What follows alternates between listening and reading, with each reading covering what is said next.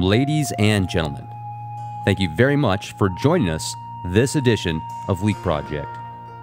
I am your host, Rex Bear, and we have guest David M. Jacobs with us, a PhD and author, as well as researcher and associate professor of history at Temple University, as well as the founder of ICAR, the International Center for Abduction Research is an organization devoted to the dissemination of trustworthy information about UFO abductions. The ICAR will provide accurate information to therapists and individuals who are interested in abductions and help them cope with the variety of problems that arise from the use of hypnosis and other memory collection procedures.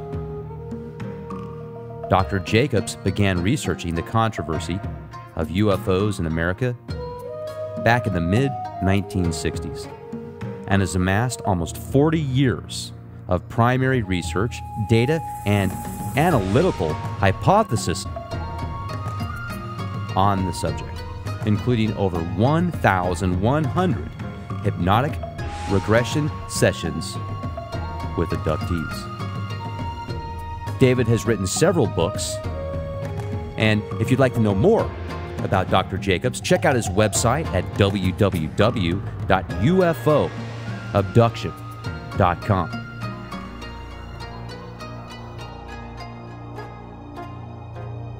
Melissa, who was referred to me by Bud Hopkins, I'm, I'm, i live in the Philadelphia area. He's in New York.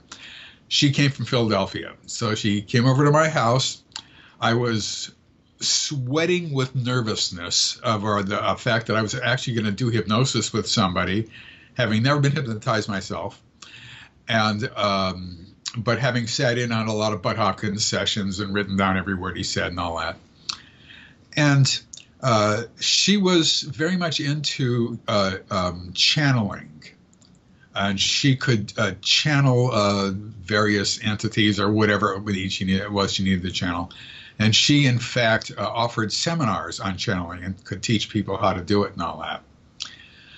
so I, uh, she laid down on a couch in my living room. I was scared to death, nervous.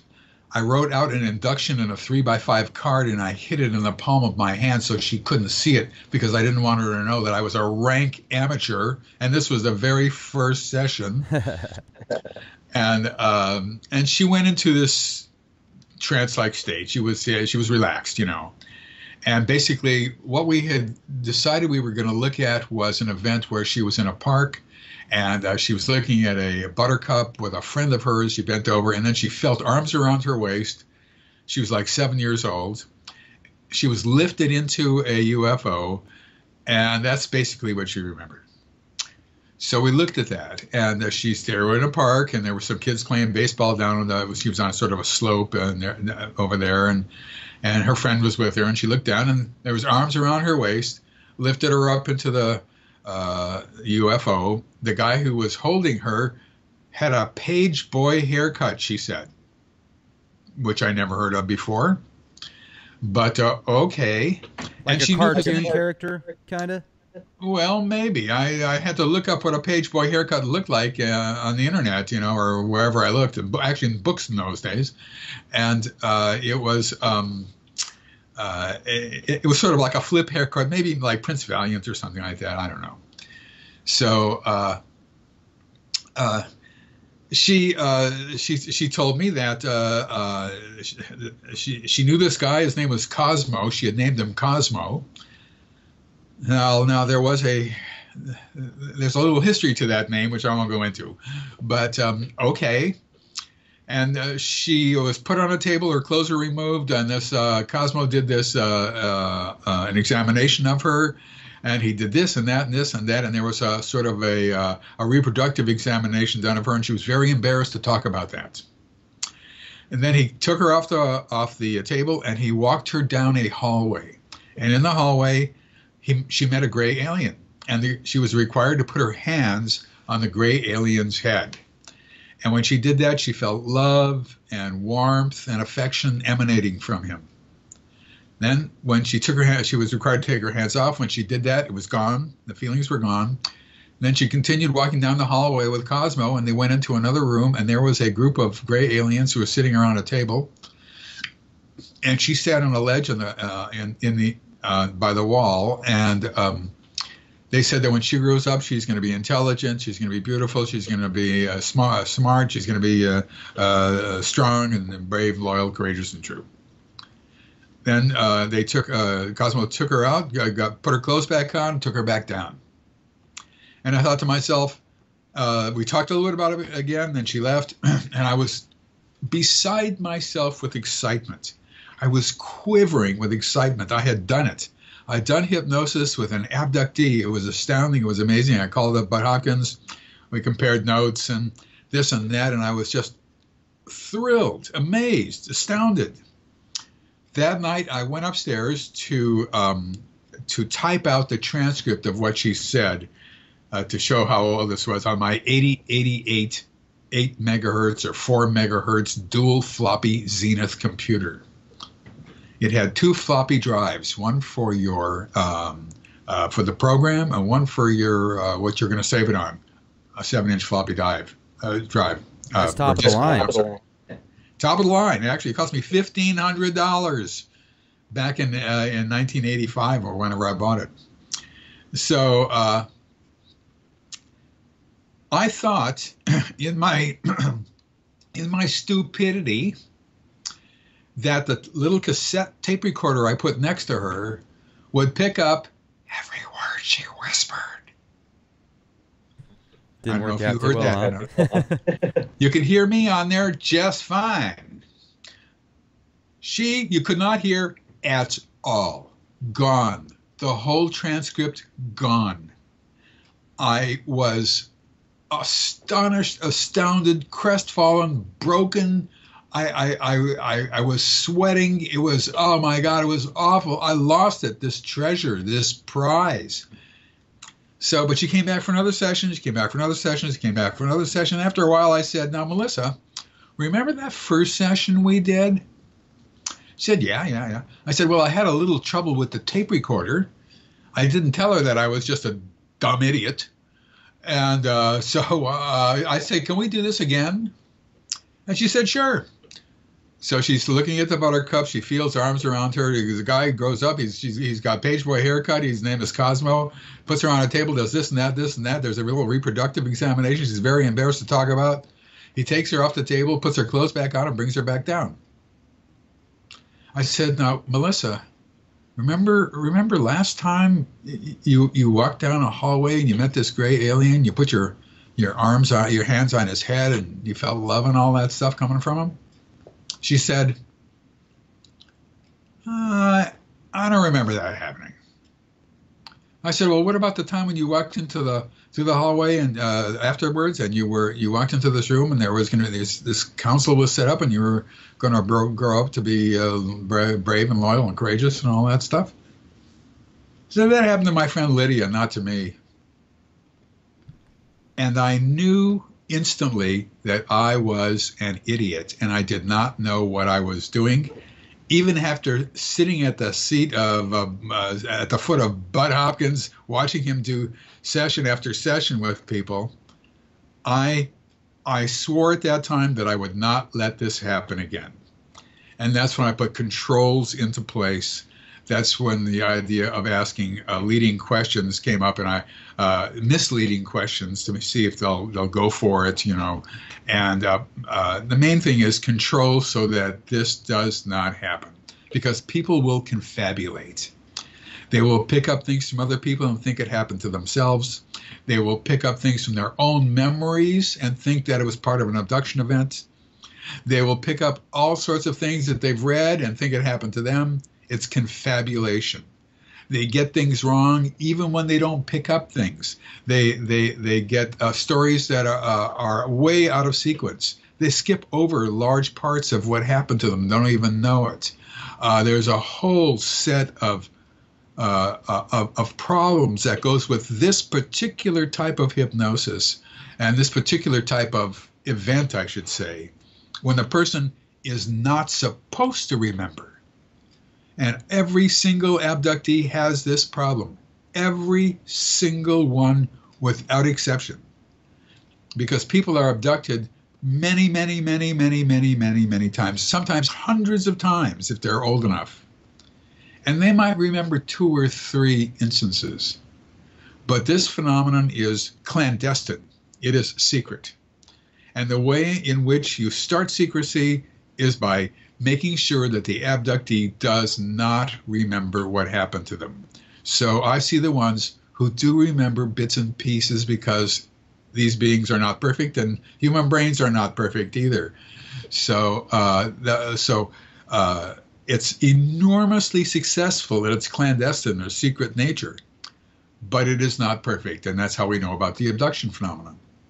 Is there a way to safeguard when you do these cases, these regression sessions, yourself and them from finding out that it is actually an abduction, not some confabulation like you speak of?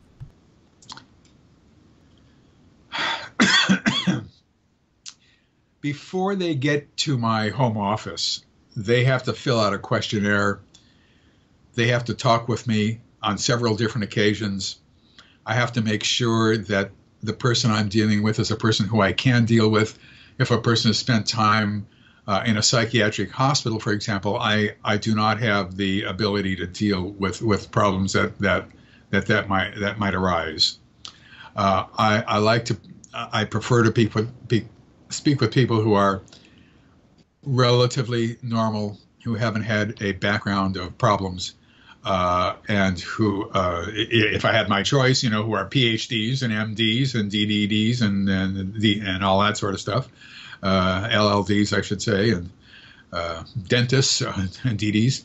Um, I, I, would prefer, you know, it, it's easier that way in lots of ways. But in fact, I, I do work with them, and I work with absolutely everybody else. It does not matter. I worked with people who've dropped out of school at very young ages and never went back. And, and I've dropped, and I've worked with people who are themselves psychiatrists and psychologists and therapists of other sorts, and uh, uh, they all say the same thing. It doesn't really matter. However, I usually ask misleading questions in the first couple of sessions just to make sure that they're not going to believe me or answer me. The the answer is usually no, that didn't happen that way.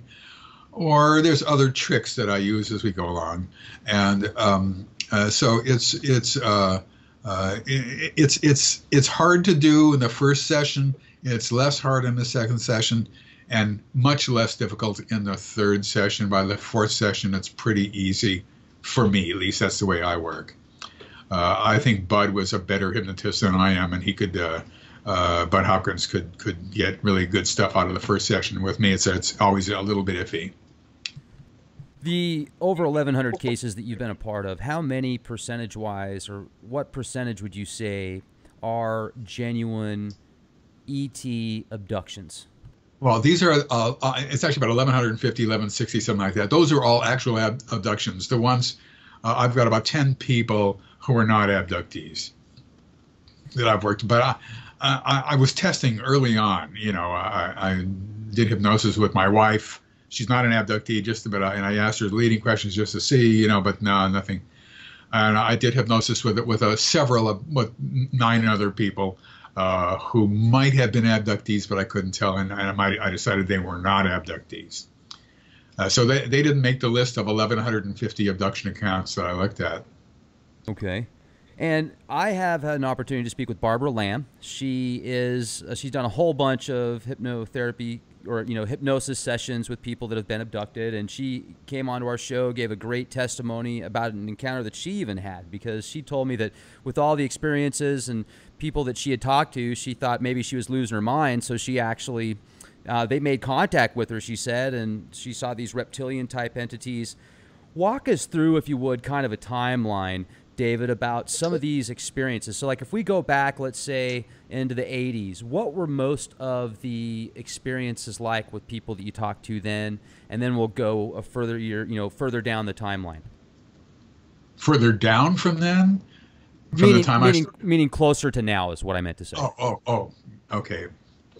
Uh, well, in the 1980s, uh, they were saying people were saying essentially the same thing that they say now although the ones that i worked with uh, talked primarily about table procedures which my sense was that was the entire abduction phenomenon.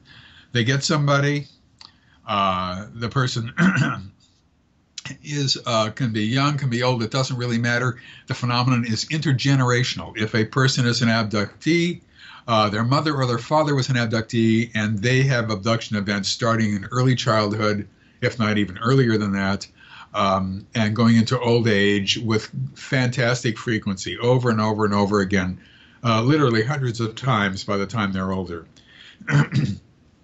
so they would describe getting on a table, and having a series of, of uh, procedures done to them, which uh, I thought was um, an examination. In, in Secret Life, I wrote about them as uh, these aliens were, were, were examining us. They were trying to make us uh, figure out uh, what our what our not only our bodies but our mentality was like. I thought that they were interested in in human sexual response. That turned out not to be true at all. They're not interested in it one bit. Uh, I thought that um, uh, that uh, they were having this unusual but yet examination uh, to see uh, what their backbone is like and what their uh, joints are like and this and that and and if everything was working properly. And um, every once in a while they would hold a uh, they uh, an, an alien would bring in a baby. The baby looks sort of like a cross between a human and an alien, and they would have to hold the baby and sometimes even feed the baby uh, if they were a female. Uh, and I knew with the very first time I'd ever heard that, which is before I started doing research. What did they give them? What did they give them? for food? Like, were they like, well, here's some baby food? right. No, they had to feed the baby through their breasts. And I remember when Bud Hopkins first discovered that, uh, I was astonished because I, I couldn't imagine how that could be possible because uh, the woman he was talking about had not been married, was not lactating, and therefore could not feed the baby. And she told him that. She said, I can't feed the baby. I can't, can't do it. You know, and they said, no, no, no, hold the baby, hold the baby to your breast. And I thought to myself when he told me that story that um, uh, we would never be able to understand these uh, aliens' minds because they value form over function. The form is you put the baby to the breast, but there is no function. Why would you ever want to do that? Right. Well, I learned later on that the, the woman has already been lactating. They've stimulated lactation, uh, whether she knows it or not, and the baby will in fact be fed. Uh, and I have tons and tons and tons of cases like that. Everything is logical. There is not anything that is illogical about this phenomenon. So they would have to hold a baby. Uh, sometimes they would see a younger, uh, uh, an older child, but still very young, a toddler, uh, who they would have to have some sort of uh, uh, inner interaction with. And basically, you know, that was it. And I, I, I, sort of put out a timeline, a, a, a, a matrix of different events that happened all the time, things that happened most of the time, and things that happened every once in a while uh, second, primary, secondary, and ancillary events, I called them. And they were of a, a physical nature, uh, a, uh, um, a mental nature, essentially, and a reproductive nature. Uh, I learned that uh, women were uh, stimulated sexually through their eyes to to peak experience, at which point um, uh, eggs were taken from them, sperm was taken from men. And uh, what was happening early on was that they would take this sperm and egg and they would do something to it off camera, so to speak. And then the next time the person is abducted, uh, a zygote would be uh, um, placed inside of them, the woman. And then after about uh, uh, three months of gestation, maybe less than that, it's removed that was what Bud Hopkins called a hybrid. And so early on, we understood that there were hybrids who were a combination of human and alien. As time went on, uh, I began to focus more and more on hybrids who were more grown up, uh, adolescent or adult. And uh, there was uh, something called a personal project hybrid, hybrid, as I named them. This is a, a hybrid who took on, uh, the phrase was used by, by one of the hybrids, who took on an abductee when, when she, let's just say it's a male hybrid, when she was very young, let's just say six, or let's just say 14, but young, young no matter what. And, uh, and stayed with that person for decades and decades and decades, for many, many, many years later called a personal project hybrid. And I also learned that there were uh, different types of hybrids. The, some looked really quite uh, alien, some more human, et cetera, et cetera. And I wrote a lot about those in, in, in my next book called The Threat, which came out in 1998. And uh, uh, and it's it, that's sort of what it was. Now, when I first heard about hybrids, I had no idea what I was listening to, and it was with a. It was when Bud Hopkins did a session that I was sitting in on, and this young woman said that um, she didn't go out much, she didn't have boyfriends, she didn't do this. She was waiting to get married to this space being who loved her and she loves him. And that's and he would come down and he loved her and she loved him and he and that's all there was to it. And her life basically was ruined because she felt that um, uh, uh, th- this was this was going to be her future. Why should she go out on dates? Why should she meet other guys? You know, and she loved him. So I had never heard anything like that. I'm not sure if Bud had ever heard anything like that either. And uh, uh she said his name was I don't I don't remember the name exactly, but it started. Uh, it was it was. Uh, I'll say the word Xanax, which is a which is a drug, but let's say his name was Xanax, and she spelled it out for me on a piece of paper. Uh, I went out to lunch with her after the session, and uh, it was X A N A X, something like that, or X, yeah.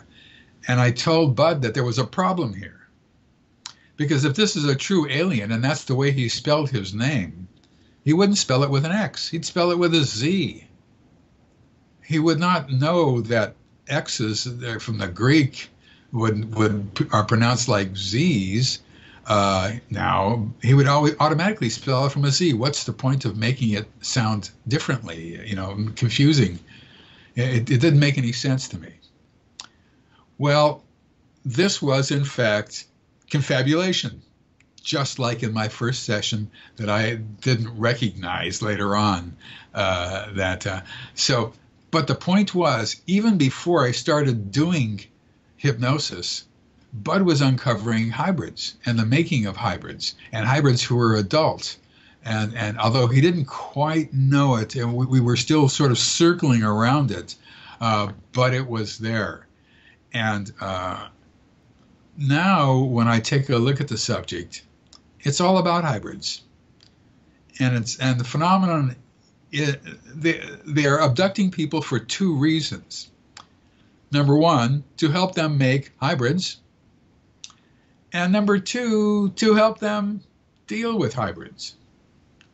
And uh, uh, and so that, that's that's sort of what my new book is about. Uh, hybrids who uh, have uh, uh, so jumped out, so to speak, of the UFO and are now living here. something that I never in my life ever, ever, ever believed I would ever say to anybody ever. but uh, the evidence has forced me into that conclusion, unfortunately. The question is I mean, being able to be in that position where you can follow these people basically in these sessions and find out who abducted them, what abducted them, where they're at, get into some descriptions and details. I mean, how far do you take that? Do you do you ever find out where these beings come from? Are they, you know, underground? Are they underwater? Are they out in the cosmos? Are they all over? Have they been here forever? You know, what are some gems that you found out through these experiences? Well, the first thing is, um, where do they come from? Uh, the answer to that is, I don't know, and I don't care. It doesn't matter. How's that? okay. And it doesn't. Okay. It does not matter where they're from. Not only that, there is no possibility they can tell us where they're from unless they're from one of the planets, uh, one of the eight planets in our solar system, which they ain't. So uh, there's no way they can tell us. you know, by my calculation, there are hundreds and hundreds of stars in our galaxy.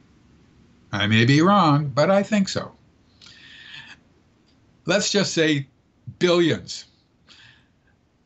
Lots of those billions of stars have names, maybe hundreds of them. Most of them have numbers, maybe hundreds of those.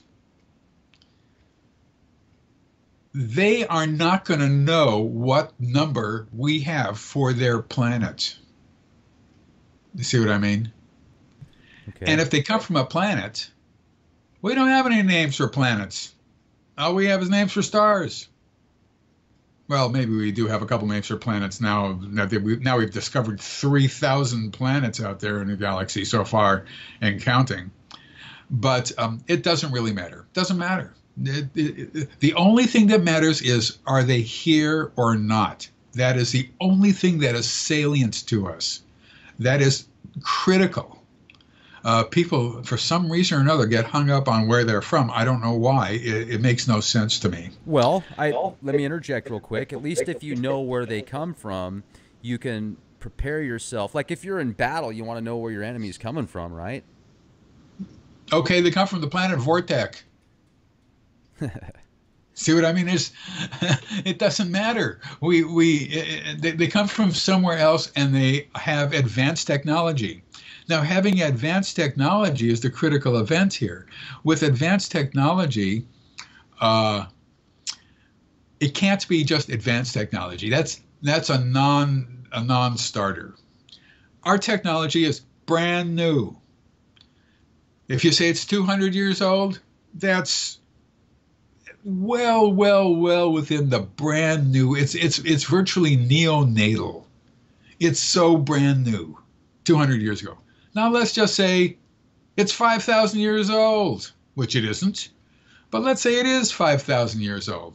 Well, that's brand new in terms of cosmic time or geologic time. It's virtually neonatal, just the same as 50 years ago or 200 years ago. So if they have advanced technology, they have extremely advanced technology it can't just be a little advanced if they can come here and do what they're doing. It's got to be extremely advanced, and that is in fact what people describe.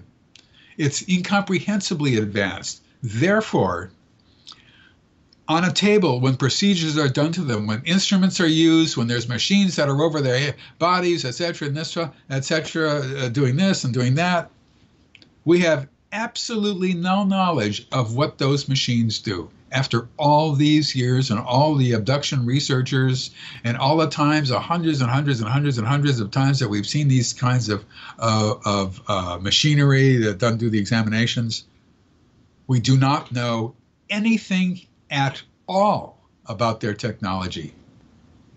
Uh, it's you know, people have said, scientists have said they, they don't say this anymore, but it used to be a, a mantra that they all said ad nauseum.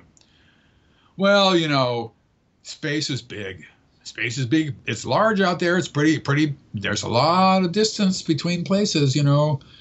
Even at the speed of light, if you were to travel even at the speed of light, which is not possible because you just turn into pure energy, but even approaching the speed of light or whatever, you can't get here from there because it's just too far away. You'd have to live to be 10 million years old, you know, the uh, for a planet 10 million uh, uh, miles away or whatever it is. Um, and uh, so therefore they can't get here from there. They don't say that anymore because now there's wormholes and there's all sorts of other uh, um, ways that they might be able to uh, uh approach here, and uh, there's uh, multiverses, and, and, and maybe, you know there's all sorts of different theories now how one can get from one place to another place in the universe. So that that that part has died down. In fact, it doesn't matter how they got here, just like where they're from. It is of no concern to me. I don't care. The fact, the question is, are they here or not? That is the only thing that is meaningful. Are they here or not? And if they are, what do they want? Yeah, I mean that's important too. What is their agenda? Has it been Right, a steady theme throughout these experiences? Well, we didn't realize it early on because it was hard to sort things out. But as I look look at it now, after um, uh, 40 years in doing abduction research, um, it's it is uh, it- there's an arrow pointing uh, to to things and that are uh, uh, a little bit disconcerting, I must say. Unlike other abduction researchers, um, I I do not feel that this is a wonderful uh, phenomenon.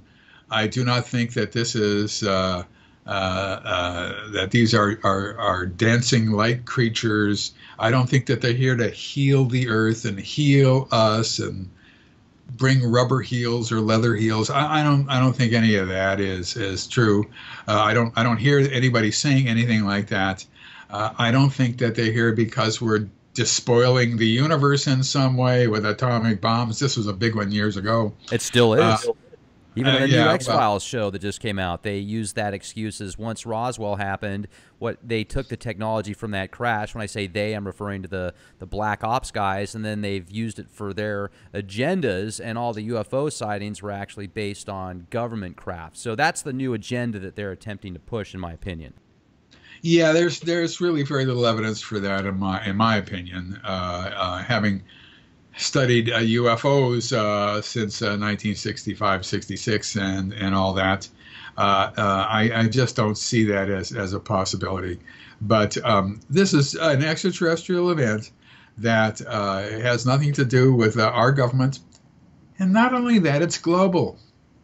It happens around the world. We are not the center of UFO activity. This is a global phenomenon. Global. People forget that immediately. If if uh, uh, there- therefore they would be looking at they would be working with every air force, you know, and uh, with the, the old Soviet Union Air Force. What the hell do they care, you know? And uh, uh, it, would be, in my opinion, we live in a very different society if that were the case. But uh, let's just put it this way: no abductee has ever said anything like that to me, and uh, or to Bud Hopkins, I, I might say. Well, Bud a little bit different, uh, but um, uh, certainly not to me. Bud had a case once where a guy was in the army and uh, things happened to him and all that, and he, he seemed to think it was part of the army, but it's hard to tell. But in fact, uh, um, people around the world should be saying this, but we don't. We haven't heard that. So I, I stick with the evidence as I hear it, and the evidence. If it is something that has to do with American government, fine, okay, I can I can live with that. I have nothing against that. Uh, okay, great, wonderful. Uh, uh, I'm, at least they're looking at it. Uh, they're, they're studying it. Uh, fine. And if they want to keep it secret, hush hush, and all the rest of that stuff, okay, I can go along with that too. At least they're studying it. At least they're looking at it. The way I think of things, though, is I don't really see the evidence as as all that much strong uh, uh, for for that happening. Uh, as I said, if I if it did happen, I would jump with joy. That would be fine. Uh, but um, but I, I wish the government would study it. I, I wish the government would get in, into it again. Um, here's an oddity. Uh, uh, Hillary Clinton has said that she would open up uh, the classified documents relating to UFOs and let everything come out. Now, if she decides that to do that, that's fine, that's good, okay, that's great. Uh, if she decides that she wants to reopen the study of UFOs again, because you know the, the government has not publicly studied UFOs since 1969. That's a long time ago, by my recol- recollecting. And uh, so, uh, if they start studying UFOs, the outside shells of objects, which Project Blue Book, which lasted from uh, 1948, was it, to uh, uh, 1969, uh, Project Blue Book studied UFOs. They did not study abductions. Not, not a chance. They didn't do anything with abductions. But abductions are critically important. UFOs are the outside shells of objects. You have to know what's going on inside. You have to know who these beings are, what they want, what is their intent, why are they here. Looking at the outside shells of objects is not going to do that for you. So, consequently, uh, uh, if the government starts looking at UFOs again and whether UFOs are real or not, you know right away they haven't the slightest idea what they're thinking about or talking about, that they have never studied the subject before uh, in terms of, of intent. And, and what they should be doing is dealing with abductees, regressing them on a 24 7 basis every day of the week in every country in the world. That should be happening because this is a threat to all of us. This is an existential threat. We are facing possibly, and I'm going to speak in grandiose terms, possibly the greatest single existential threat to uh, to human life that has ever existed, and that includes the atomic bombs. Uh, there has never ever been anything like this in human history. What you have is people around the world saying the same things in the same way with the same detail regardless of their where they were born regardless of their religion regardless of their beliefs regardless of uh, their uh, intelligence regardless of their uh, education regardless of anything anything. There's there there's nothing here that that that they can't be regardless of they all say the same thing in the same way with the same detail. There's never been anything like this in human history, period. That has never happened before. That's an astonishing fact. So, uh, that should be happening all around the world, and it isn't. There are several governments that are familiar, that are that have very low key studies of it, and they're hooked up with local organizations like in Chile in Belgium and in France. Uh, and they're looking at UFOs, try, still trying to find out whether they're real or not, you know? And uh, that's that's not where serious UFO researchers are, uh, who who who understand that the only way that we can deal with this subject and understand it is by getting inside the objects and that's dealing with UFO abduction material. That gives you the intent, that gives you a sense of, of why they're here and all that sort of stuff. I got to jump in real quick, David, because what you're talking about is making me think about a few people that I've had a chance to speak with here on the Leak Project that reached out to me, wanted to be on the show. And uh, these guys had absolutely no books, no promotions, no websites, just you know typical jobs, working a regular life. And uh, this gal, Kimberly, that came on the show once, she's a housewife, real nice lady. She lives out by Mount Hood, and she's had these really incredible experiences um, her whole life. But let me ask you these, let me give you these specific experiences because I want to find out if you have heard of similar ones when you've done these regression sessions. The first one is she uh, that's really powerful is Kimberly talked about how when she was pregnant with her second child, she was abducted. She remembers being in this craft with a very long window, two beings on each side of her. She can't remember what they look like, but she does remember this tool or this object that comes out of the table with three needles in it and it injects her directly into her stomach where she was pregnant. Then she remembers waking up next to one of her trucks that she used to have at the time or one of her friends' trucks uh, she explains how she still has the scars there to this day. She has um, all sorts of other experiences that she shared, but that's one in particular. And then another one is there's this guy that I've spoken with that reached out to us. He calls himself Boris Starseed. He looks like he's literally 21, but he's 42. And he says that he's got this ET DNA and such. And he'll literally, he lives in the Bronx. He'll go outside. He will have these telepathic connections, he says, with these ETs. He'll go outside and you can see these strange colors that will come out of nowhere. They'll turn into like the metallic disc and then go back to a red diamond or some weird other color and shape and it just bounces all over the place and, the, and there's all sorts of other people that see it as well during the day and then another one, there, here's one thing that I find fascinating is there's a specific, vi- there's some video footage that I actually have here on the Leak Project of this guy that sent it out to me, and he just got a, a movie contract. Um, but I showed this video and it hasn't really got a whole lot of movement on it. It, it blew my mind. I think it's legit, but it's almost one of those things that's so real that most people are conditioned not to believe, even though they want to believe, that they see it and they're like, oh, you know, that, that can't be real. But you see this green looking alien look under this guy's door and he's freaking out while he's recording it. And you can see this giant eyeball. You can see the eyelid. You can see the glare, for the reflection from the eye itself. And if you overlay the that face with the one from Communion, where Mr. Strieber talks about his experience, and that actual face that was drawn was done by a professional artist that could actually do work for the police and sketches and such, and it was just you could overlay it perfectly. So, are have you had people that have talked about getting abducted by green aliens, getting stuff injected in their stomach when they were pregnant, and being able to just go outside and see these incredible anomalies in the sky, talking to them and such? Um, yes and no. Uh, the first one, prongs in the stomach.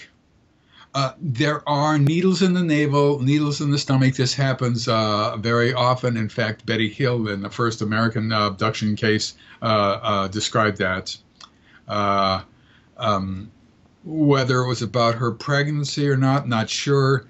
Uh, she didn't remember. She didn't remember what you're telling me about 90% of what actually happened to her.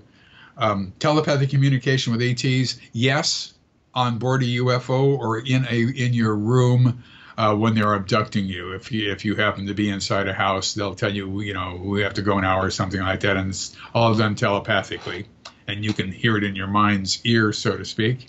Um, uh, but telepathic communications with beings uh, a distance away from you, let's just say uh, 500 feet or something like that, uh, that I, I have not heard of. I don't know. I have never had that happen. Uh, uh, nobody's ever said anything like that. Um, then a metallic uh, a metallic disc that turned into a diamond shaped disc. well, yes and no. It depends on what on how the angle of seeing the UFO is, what what angle it's at. So that that just might be uh, something a little bit different. A green alien, not ever. I'm telling you, this. I, I, want you, if you get a chance, just take a look at this video. And for those that haven't had an opportunity to watch this podcast that are listening to this presentation, just go back on the uh, the X Files playlist on the YouTube.com/slash uh, clandestine Time Lord, folks, and you can actually see this video. It was fascinating indeed. So maybe I'm looking into it too much. I showed it to several people, and I've got mixed emotions out of it, but. I definitely see this eyeball. It looks like a giant eyeball. And as I said, if you were to overlay, you can only see half of its face because it's looking underneath the, the door. But if you were to overlay that half of a face with the communion alien that's drawn on the actual book cover itself, it overlaps perfectly. It's incredible. Um, I know somebody that's uh, very successful, has no reason to lie about being abducted. When he was in Mexico, he actually claims to have been abducted by green aliens. And um, yeah. I showed him the video, and he said he didn't see any connections there either. So it was interesting. Yeah, the the the you, I assume that you're talking about the book cover done by uh, Ted Jacobs, no relation to me, uh, for Whitley Strieber's Communion. Yes, exactly. Uh huh. Right. Uh, every abductee who's looked at that had had one major sense: it's not right. The head is too flat. The head is not big enough. The eyes are too high high high up. And one of the interesting things is that that, that cover pried loose hundreds and hundreds of abductees who became frightened of it and wondered why are they so scared of this painting on the cover of uh, uh, of Communion. And uh, and then they would say, but you know, they don't look like this. Their heads are different. And then they would think, why do I know that? Uh, and um, but uh, Ted Jacobs didn't quite realize what a gray alien looked like. Uh, however, I have seen uh, nobody even approaching the color of green anywhere. Um, uh, uh, although people will say sometimes that the gray beings are sometimes a little bit bluish, uh, but uh, hard to tell. Memory plays tricks. You're not supposed to remember these things if these actual events were happening. And um, Uh, uh, and you're not, and since you're not supposed to remember it, sometimes the memory squeezes out in an altered form, and that can be confabulation. Having said that, looking underneath a door means, well, the way to explain that. Right, I know it sounds weird. Yeah, I mean, no, I'll, I'll, tell you exactly why it sound, sounds weird, but what I'm going to say is weirder. Uh, the weird, it's not weird enough. That's what I'm saying. Uh, the problem here is that aliens can come through walls and through windows and take abductees out through walls and through windows. This is not a normal part of their ability to maneuver. They must have help from some sort of device on the UFO that shines out a sort of blue light, not quite, it's a light, but it's got bluish, bluish overtones that light comes in a window or sometimes it'll go right through a wall. And that is what allows people to go through windows and go through walls. In other words, when on board a UFO, neither abductees or aliens walk through walls. See what I mean? It has to be done with that machine, with that device that's on board the UFO every single time. So if an alien wanted to get into somebody's house or apartment and they just come down from a UFO, that UFO would be there and help them do it by going right through a window or right through a wall or right through a door or whatever it is. Therefore, looking underneath a door makes no sense. See what I mean? Sure, and that's one thing that I found very odd too, because obviously the technologies they have, and like you said, if they wanted to, they could definitely just walk through the door. His reasoning to it was he felt like they were trying to make contact without freaking him out too bad because they knew he was already very scared. Um, whatever it was, hey man, maybe the guy's got a Komodo dragon running around in his in his house and it's just looking under the door there or something. You know, I don't know, but it was it was green and it was a big eyeball and it was a trip. So I, I would recommend people watching that. Just give me your opinion on what it is. Maybe it's an iguana or something, or or Morris the cat was uh, he had his fur dyed green. Um, but if David, let me ask you. I mean, your book that you've got, Walking Among Us, just so much information in there. It's jam packed with data and stories and accounts. Are there some other beings that you could describe to us that you've learned about throughout your years? Well, on board the UFO, there are um, a what you're looking for is a consolidated, compact workforce everybody on that UFO is part of this workforce. Everybody. That includes abductees. Everybody on that UFO is part of a workforce. The workforce ultimately is to manufacture, create beings. It is within the realm of possibility that some of the beings who are created are, in fact, gray aliens. And I can go into that with more detail later on, uh, logically. But in fact, the ones in control, I think, I ascertain, I guess, are the ones who are uh, uh, insect like ones, who I call insectolins. That's insect with the word alien and the E taken out. So, insectolins. Uh, they give orders, everybody else takes orders. The gray aliens are workers, they take orders. Um, there are, and I know uh, there, there are reptilian type ones, uh, and uh, the reptilian type ones are unusual. They, they people will see them from once in a while from time to time. I know that if you go on the internet, there's reptilians all over the place. Uh, but that was caused by some books written about reptilians of people who don't know what they're talking about, and um, uh, it's it's they are workers. They do the same jobs as the gray aliens. And if you want, I can come back and tell you my theory, my guess, my speculation on why there are reptilian looking ones. Then comes gray aliens. Gray aliens come in two sizes, tall and small. By tall, we'll say four feet. By uh, four and a half feet. By small, three and a half feet. Uh, then there's what I call early stage hybrids, beings who look really human and really alien together. Uh, a person with uh, a, a being is born with very large black eyes, but there's whites in the corners of them. They, unlike aliens, have hair, but it's very thin and wispy. There's a tiny little nose, a tiny little chin, a tiny little mouth, tiny little ears, not normal human size at all. They, I used to think, well, that's just the, the process of creating hybrids. And that may be well be that you're gonna you're gonna get the ones that are half and half. But the thing is, is that their physiological technology, what they can do physiologically, medically, whatever it is, is unbelievably advanced, just like their techno- their their hard technology. So my guess is now is that these beings were created for a reason, as opposed to random. Uh, and I and what we see with these beings is they take care of babies.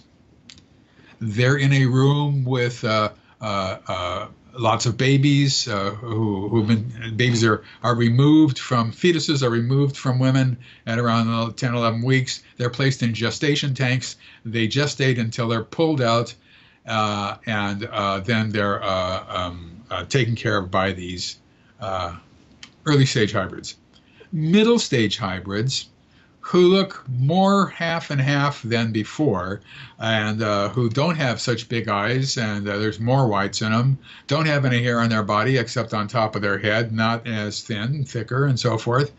Uh, uh they take care of older kids, uh, 10, 11, 12 years old, like that, uh, you know. Um, then there's humanoid, or late stage, I'm sorry, late stage hybrids who are often um, everything about them looks human except maybe their eyes are too large uh, and there's no bodily hair. They uh, they sometimes become uh, personal project hybrids and will stay with a, uh, somebody uh, for for for decades. Uh, the females oftentimes will take care of older kids also. Then there's what I call humanoid hybrids. And they are humanoid in almost every way, or even just a human stage. They, they except in their minds, except in their brains. For example, they might be uh, security hybrids to help keep uh, hybrids who are going to be living here safe and secure and make sure that the abductees are kept in line and they're not telling anybody because this is an enormous secret and nobody's supposed to know.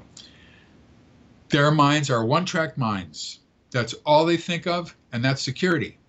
And keeping the hybrid, uh, keeping the abductee in line and the hybrid safe. That is all they think of, period. That is their function. That is their task. Uh, then there's uh, what I call hybrids, human hybrids. Uh, you just put those two words together, and they're the ones who are actually moving into the society. Now, having said that, people would ask me from time to time years ago, do you think that uh, they're walking among us? You know, you think they're living here? They're living among us, walking among us? I loved that question. It was my favorite question in the world because I got to say, absolutely not. There's no evidence whatsoever that they're living among us. And I felt good saying that because I didn't have to be crazy then. I could be sane. Absolutely not. Starting in 2003, I began to hear something I had never heard before. Now, by 2003, I had done one hell of a lot of abduction uh, sessions. And people had described hybrids, this and that, and this and that. But uh, one guy who I was talking with, who was a businessman in his 50s, uh, who had never heard of me, didn't know anything about abductions, that was recommended by a psychiatrist to come and see me because he had these sort of memories of these odd things happening to him that the guy who uh, who recommended me knew that uh, sounded abduction like, and he was perfectly sane. Uh, in around our fourth session, and uh, if you're listening to this, pardon me if you've heard it before because I've ta- talked about this a lot, but um, he says to me, You know, I just remembered, I, I, have a friend. I have a friend. Yeah, yeah, I just remembered I have a friend. And I'm thinking to myself, I got a friend too. You know, I got a lot of friends. um, so he says, no, no. He says this is a this friend's a really good friend of mine. Yeah, yeah. He's really, really good friend of mine. I know him, known him for a long time. He's he's my best friend. We we've been to dinner together. We've been to foreign countries together. We've been fishing trips together. We've been here. We've been there. I see him all the time. He's my best friend. It's funny. I totally forgot about him. He says to me and, I, and he also didn't know what his friend's last name was, where his friend was from, whether his friend worked or not, whether his friend was married or not, whether his friend went to sleep or not, or whether anything about his friend, where his friend lived, didn't know anything at all, not even his last name, but he was his best friend. So we did a session on that when he first saw him or whatever, and, and then a bunch of sessions on that. And uh, turns out he's meeting with his best friend all the time, including on the way to my house to do a session, as his best friend was trying to prevent him from doing that, from going there and talking to me. Literally, just before he arrived, uh, to uh, my amazement. But I thought to myself, well, this is so unusual. I'm going to wait until other people uh, say the same thing because it might be an outlier of some sort and maybe something wrong with the guy's brain, you know. Then another person began to say similar things, not exactly the same, but similar things. They were dealing with this guy who looked human, and they were training him to do this and teaching him to do that, and on and on and on and on. They would have dinner with him, and on and on. And then uh, another one came to say something similar, and another one came to see, and a, a woman who I've been working with uh, uh, since 1987, Karen Morgan, who made it into all three of those books, Secret Life, The Threat, and Walking Among Us uh, she she began to say something like that, and then there was another one who was in uh, uh, Secret Life uh, was in the threat. Allison Reed, who began to tell me things like that. Then I began to look through my files, and I noticed that other people had been telling me things sort of like that, and and other aspects of it that I had just sort of put off to the side and forgotten about because nobody else was saying that. And um, consequently, I realized something was happening. This is different. Things are different now. In the cha- in, I'm sorry, in seek oh God, brain, don't fail me now. Uh, in the threat, uh, uh, my second book on abductions, these aliens, the great aliens, would tell the abductees, soon there's going to be a change. It's going to be wonderful. Oh, it's going to, you're going to love it the change is coming soon. Soon there's going to be change. Everybody's going to be happy. Everybody's going to know his place. So I'd ask him, well, what do they mean by the change? The abductees did not know. I said, well, what do they mean by soon? Because soon is not a word. It could mean for them 10,000 years from now or 10 minutes from now, for all we knew. And they said nobody knew. They didn't know. Abductees did not know. So uh, then abductees would be brought into a room and look at a, a, a screen on the wall, a screen-like device is the best way I can put it. And there's a picture, and these are two actual cases, a picture of a uh, picnic and it's like a moving picture. There's there's people who are grilling. You know, there's a, a, a one of those uh, table with benches on it there, and and they're making something on the grill. There's some kids playing ball, and they, you know, there's a little lake by it, etc., etc. Everything is perfectly normal, and they hear in their mind's ears, so to speak, they hear telepathically. Can you tell the difference between you and us? And the abductee stares at that screen and says, uh, Difference? What do you mean? I don't see any difference. Everybody looks the same.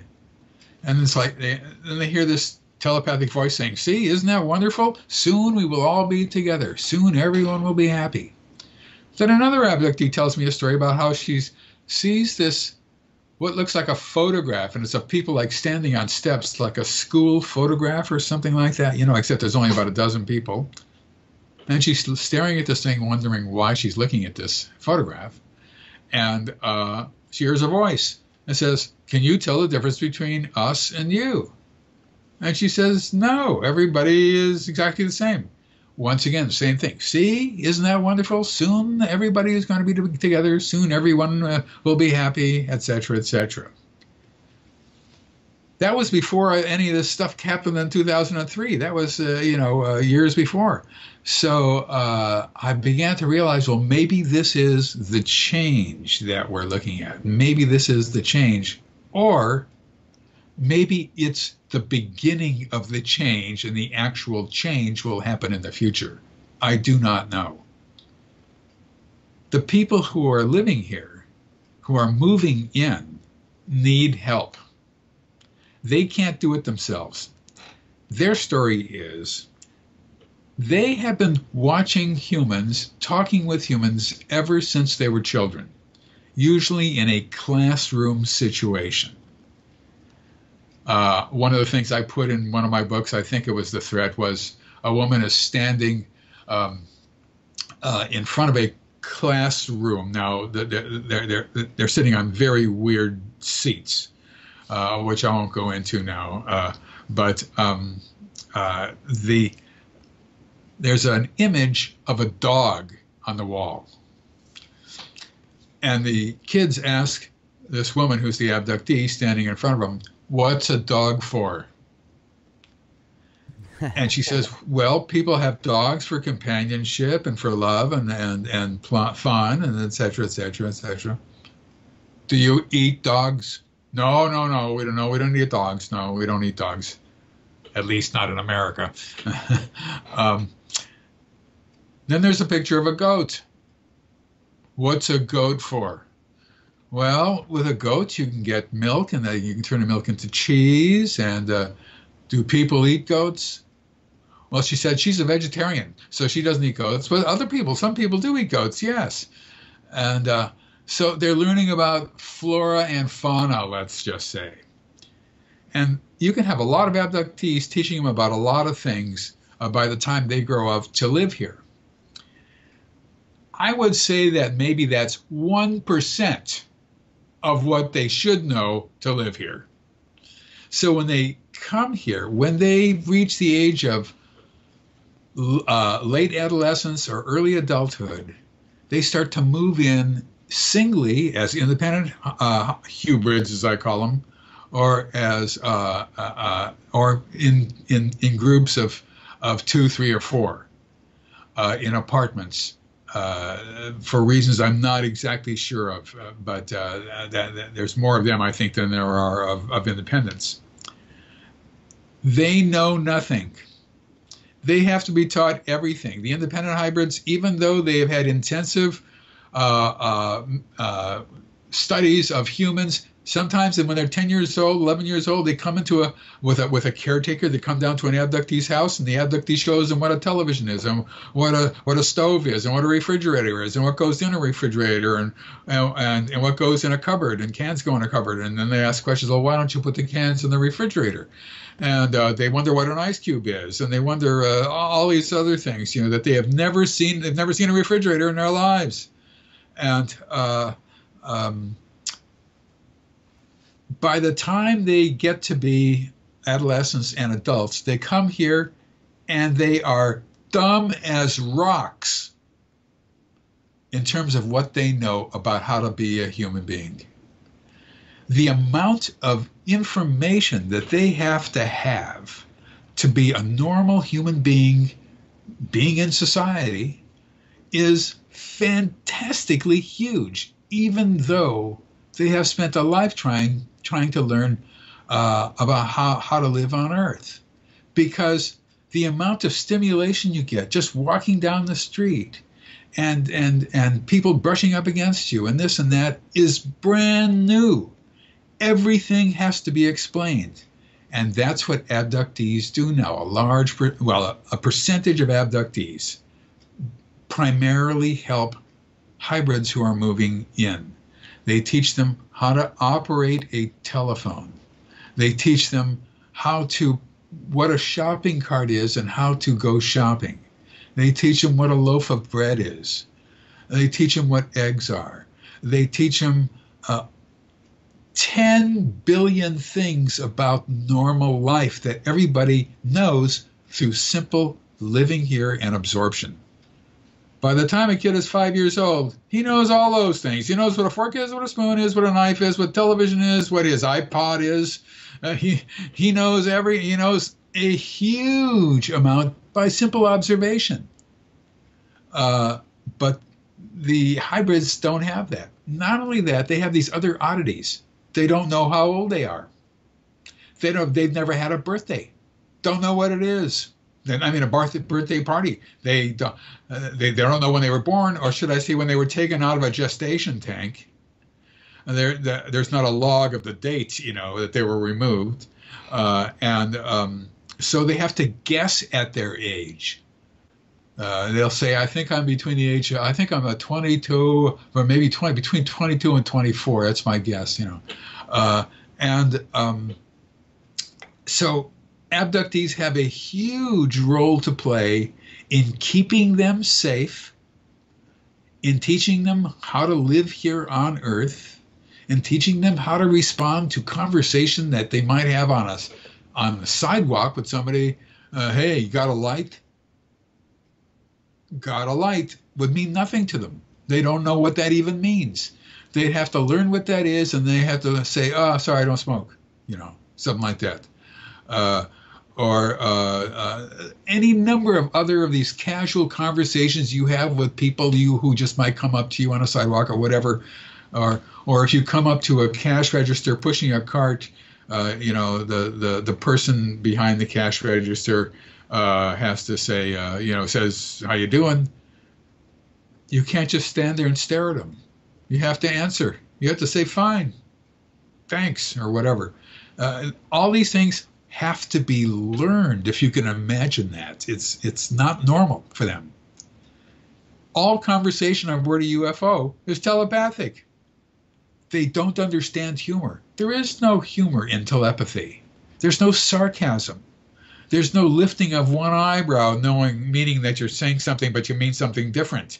Uh, there's there's there's none of that exists on board a ufo they have to learn that from the beginning. And that's what this book, Walking Among Us, is all about. How do you train hybrids or hybrids just to live here?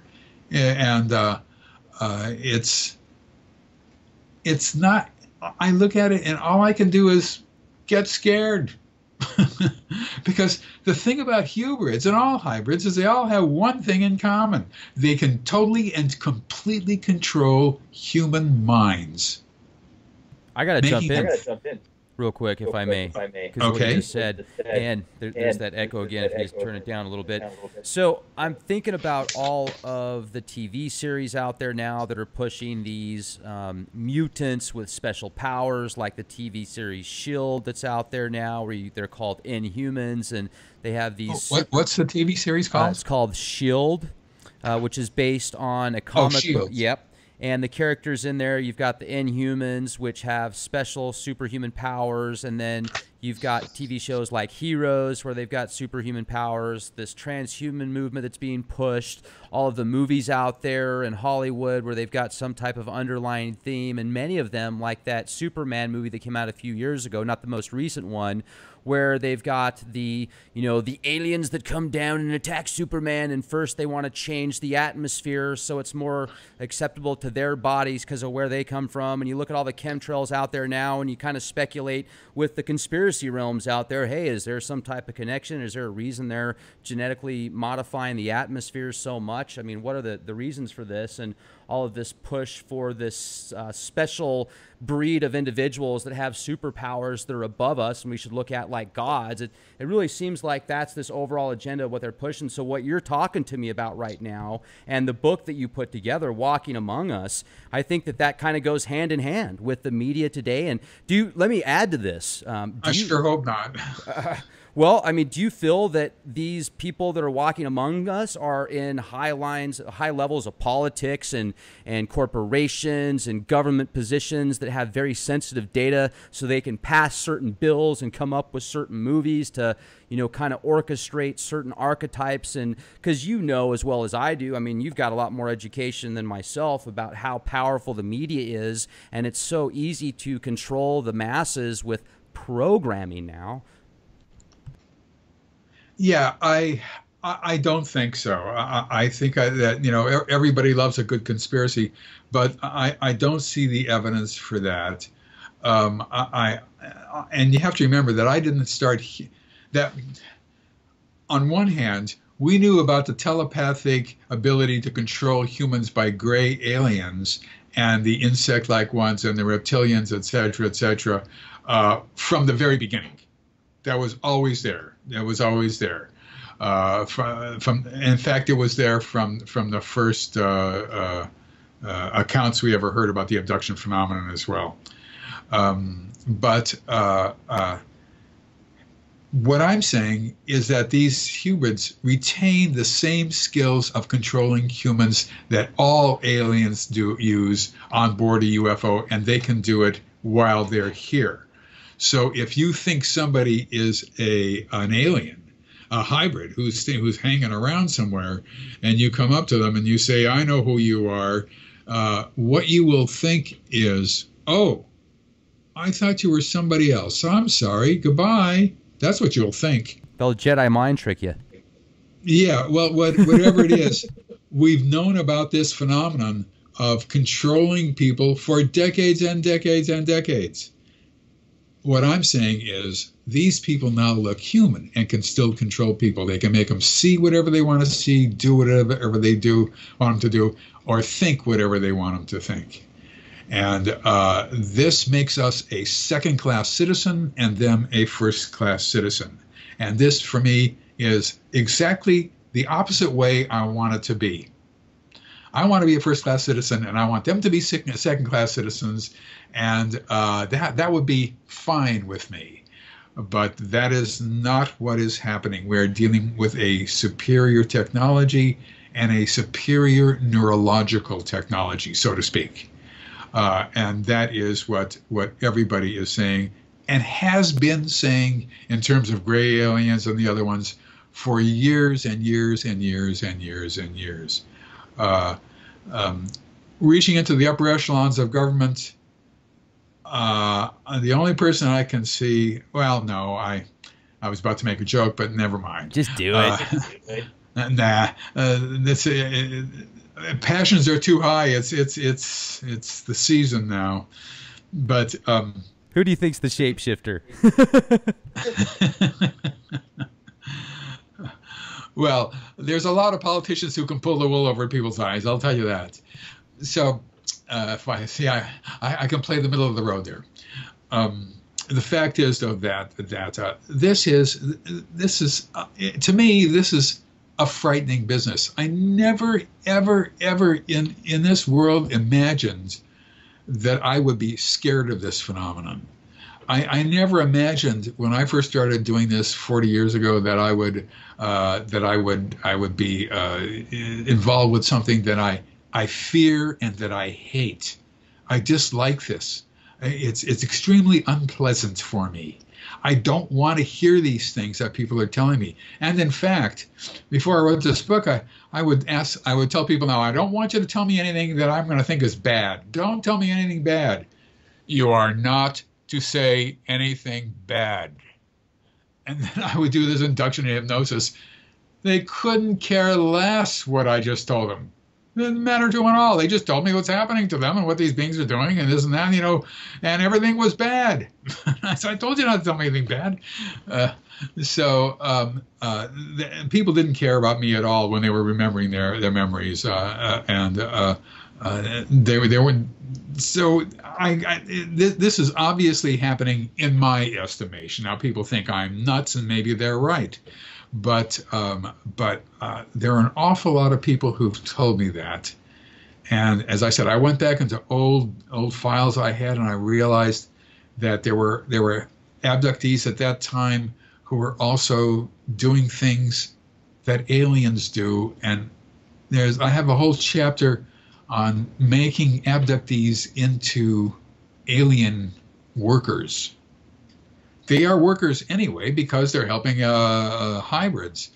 But I mean, finding hybrids who have nothing to do with them uh, somewhere in another state with their minds, things like that, which I which I talk about in the chapter. I don't like to talk about this at all because it's too upsetting for a lot of people. And um, but I, I, I, do write a chapter on it because I, as an academic, I gotta say what people have told me, uh, whether I like it or not. And there's some perfectly awful things that happen in there. And uh, uh, so so I'm uh, to, to bring this this uh, account full uh, circle.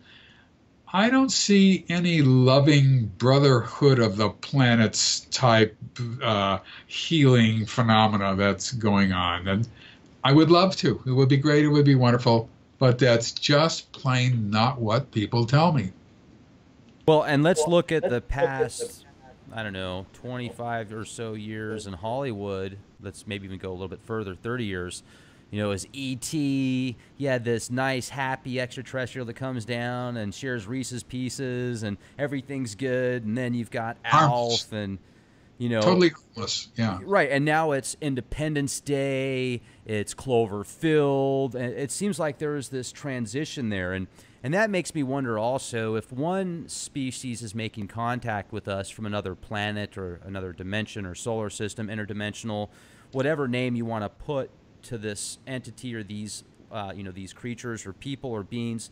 There must be other ones out there and they can't all be bad. I mean certainly there's got to be a, a, balance somewhere. I mean you you haven't talked to people that have said hey this was my experience. They they gave me this ability to heal others or see into certain futures or do you, is it all 100% just experiments torture bad stuff that took place well, it's not torture necessarily, but it's and it's not an experiment either. Uh, as I used I used to think it was an experiment, the experimental model, as I called it, but it, it turned out not to be that. But um, uh, I, I, I don't. I'm I'm not sure. Here's the thing. Scientists years ago were a lot stupider than they are now about this subject now they are rock bottom stupid. Yet they were even stupider in the past. Uh, and I don't care what scientist it is, it doesn't matter. They're all the same when it comes to this subject. All of them. The only one who has who we have a glimmer of hope about is Michio Kaku. And uh, uh, Michio Kaku is uh, has enough intelligence to realize that the abduction phenomenon might be real. He's not going to act on it but he doesn't dump on it, which is which is to me a victory, and I, I, I applaud him for that. Uh, but you cannot make an argument. Well, let me start at the beginning. Years and years and years ago, uh, people would say, "Well, we're probably the only people uh, in the universe because the the the air, the, the the the way in which Earth was formed was unique the way in which uh, uh, life formed on this was probably unique.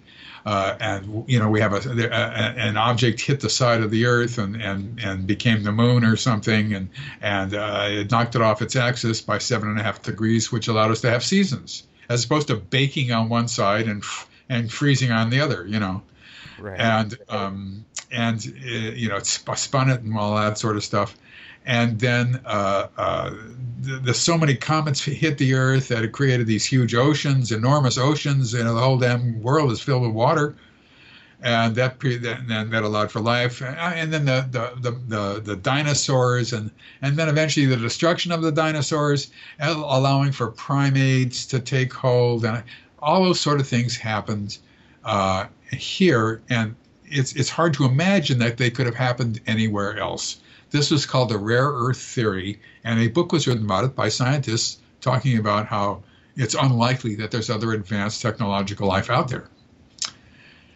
So scientists have gotten away from that, and they said, well, there probably is life, you know, and, and they found liquid water on Mars. When you're going to find liquid water, you're going to find life. But all scientists who are not involved in the UFO phenomenon, which means 99.9999999% of scientists, uh, think that if there is life out there, it's probably tiny little microbes floating in water, swimming around. But that's life.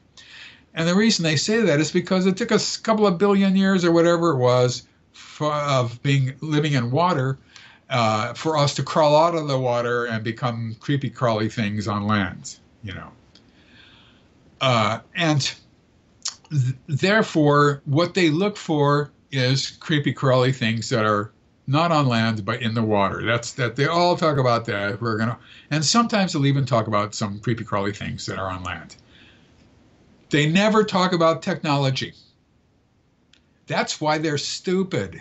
May I say that? I hate to say that. I sound aggressive. You stupid idiots.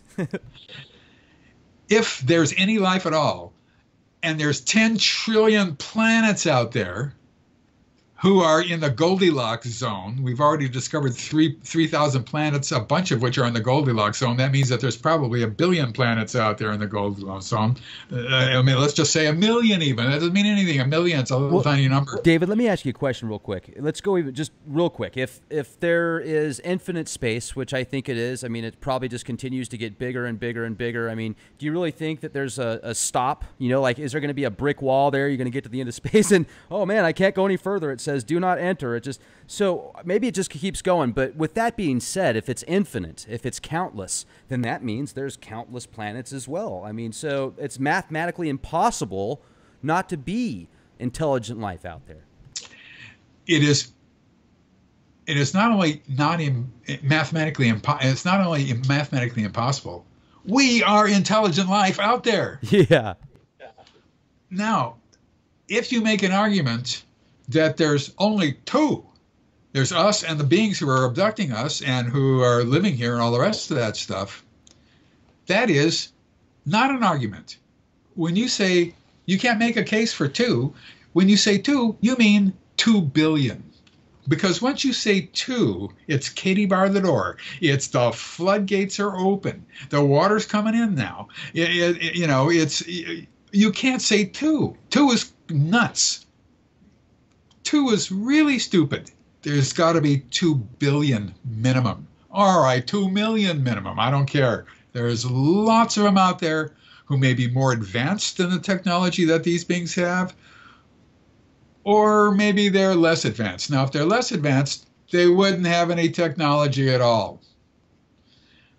If they're less advanced according to our own technology, you know, but there has to be more out there. Therefore, it is possible that other aliens are coming to Earth, looking around, seeing what the flora and fauna is like, and leaving. That's possible. I can't say no. We don't know. But what we do know is that the abduction phenomenon has gone on for a significant part of the 20th century with a certainty dating back to the 1920s and with less certainty to the 1890s with double that certainty to the 1930s and with and with a uh, ton of them in the 40s and so forth.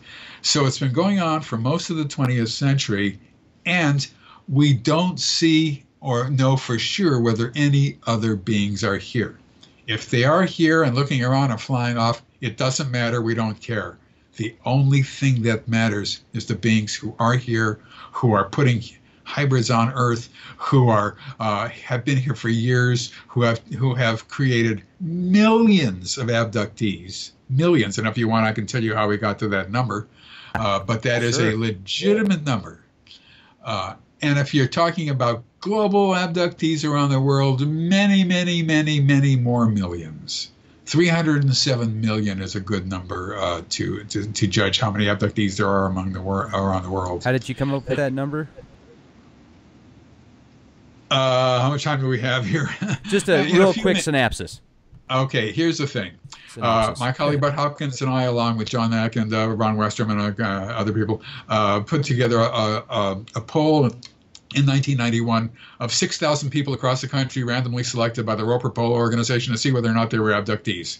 They were told to answer 10 questions, and uh, um, and all the polls were collected, et cetera, et cetera, and then we analyzed them. Uh, the number that we got of people who might be abductees was much too high. It was ridiculous. So we uh, tightened the, the questions up enormously. Uh, they had to answer uh, yes to of the 10 questions. Uh, they had to answer. There was we divided them into five higher, five lower answer questions, lower relevant questions. They had to answer eight questions minimum before they could make the the the the the, the, the, the final count. That meant that you could answer uh, uh, seven questions or whatever it was no, you had, you had to you had to answer two questions. So, yeah, you had to have, answer. Yeah, at least. Uh, oh no, wait, no, you, no. I sorry, I'm getting this. You had to answer four questions. Okay. Out of the top five, so you could answer yes to the top eight questions, and not make the poll. When we got that, we got the number down to two percent of the American public is an abductee. That's a wrong number. That made national news. But it's wrong. It's probably closer, and I'm going to be conservative here, to 5%. That means 95% of Americans and of the world's global population are not abductees.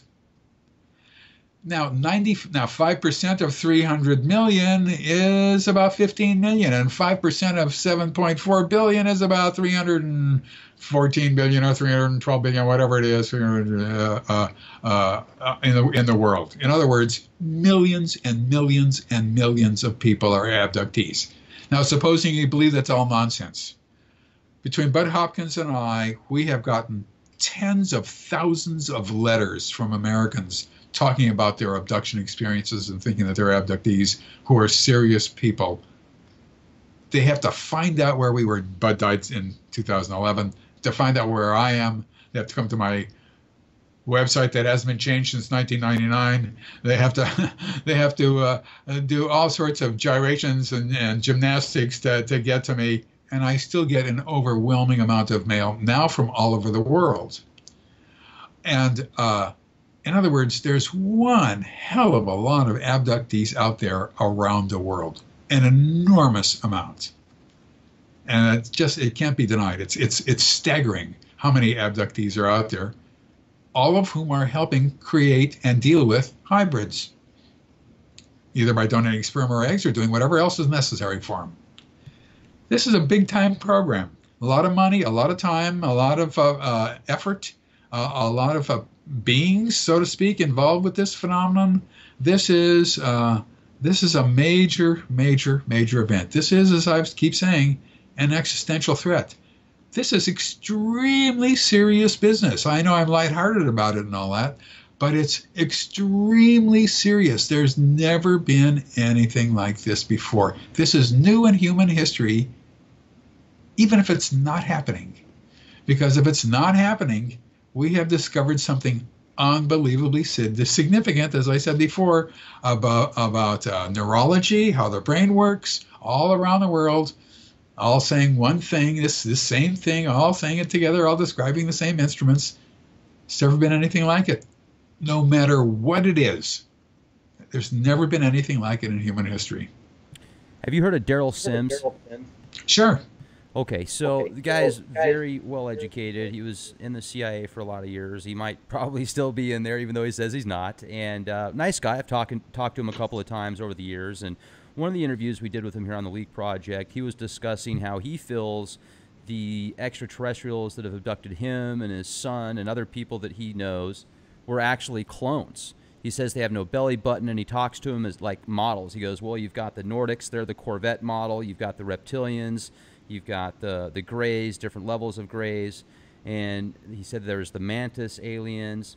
And um, one of the things that he discusses is he doesn't think that any of them are in control. He thinks they're all just cloned. And when I tried to get to the real meat, you know, and say, hey, who is it then? He was reluctant to give us all the information just because he deals with multiple encounters or I mean experiencers, you know, and does these regression sessions and he doesn't want to give away all the inside scoop so people could listen to it and then say, "Oh, well this is what happened to me. This is what I saw." So, but this information he did give us, he said there was always something or somebody there kind of in the background, kind of watching it all and and or you know, kind of like think of the smoking man in X Files behind the scenes, just watching everything, you know. And uh, he wouldn't say who it was or what it was, and he's more of a religious person. He kind of believes in, I, I, think, the Abrahamic, you know, religions and texts. So he feels they're like fallen angels, I think. But what is your take on that aspect and possibility? Which aspect? All of these being cloned from okay, one clones? specific species up there at the yeah. top level. Yeah, uh, I don't think that the insectoids, uh, insect-like ones are cloned. I don't think the reptilian ones are cloned. I do, however, think that it is highly possible that the gray aliens are clones. Number one, they have no sexual apparatus. Therefore, it's really tough to recreate themselves. Number two, and this has always bothered me, I, I take a look at their eyes. Okay, I I'll deal with that. That's fine. Then I take a look at their ears. Got to have ears. They got little holes in the sides of their heads because if something falls, they got to be able to look over and see what that was. Survival feature. Uh, a nose. Okay. A mouth? No. It always bothered me. Why do these gray aliens have a mouth? They do not breathe. They do not open their mouths some uh, abductees have said they have. I think it's confabulation. Uh, they don't have any teeth, and they don't eat through their mouths. They eat through skin absorption. Why do they have a mouth? And then I realized that these beings probably have this little bit of human DNA in them, which would cause them to have that mouth and the bodily shape. Um, but how are they born? Since we don't see baby uh, uh, aliens. But then again, we don't know the backstory of a lot of these things. We don't know what's happening in the back of uh, you know when they're they're they're, they're producing hybrids and uh, I mean uh, gray aliens in one way or another. We don't we don't have any knowledge of that at all. But it is possible that they could be clones. Now, are they going to be clones back to babyhood and then grow, or is there a different way of cloning that might be almost like stamping them out of a die because we don't really see age on them. And the answer is I, I, don't know, but Sims might be right in that some of these beings might be cloned, but we really don't know. Now we can clone things because it's all brand new and it's super hot. And oh my goodness and oh my gracious, a hundred years from now we'll look at that and laugh. So uh, you know, you're, you're looking at at at technology that is more advanced on all levels. That's the thing. Now that brings me back to reptilians. Reptilians, uh, uh, uh in my this is guess. I'm guessing. Insect-like ones, by and large, do not come and abduct people. Gray aliens do and hybrids do. That's what I've been hearing over and over and over and over and over and over again when they get on board, they might see a, an insect like one, you know, watching the proceedings or, or, or doing something else or whatever it is. There had to be a time when there was no abduction phenomenon, when uh, there was nobody visiting Earth for any reason. When this group came here, they had to say to themselves or to somebody else, maybe a higher up somewhere, this is the one. We'll take this one, meaning Earth.